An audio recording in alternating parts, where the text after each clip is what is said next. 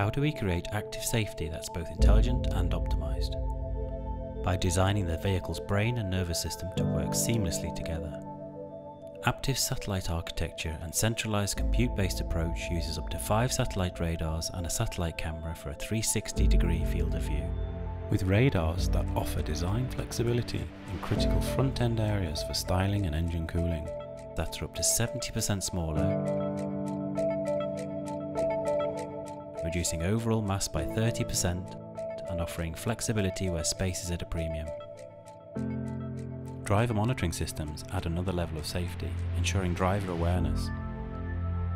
Each radar and camera feeds back to the active safety domain controller, which centralizes the intelligence and fuses or integrates the data back from all of those sensors to make intelligent decisions.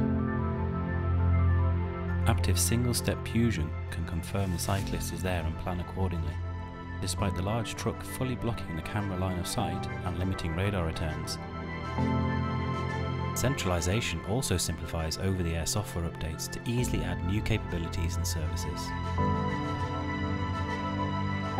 Flexible, scalable, ensuring the highest performance for the lowest cost, and with radars that work in all weather and lighting conditions, using a fraction of the power of compute of other sensors. Aptiv is collaborating with OEMs to apply this satellite architecture and central compute-based approach to fit their unique requirements for active safety systems.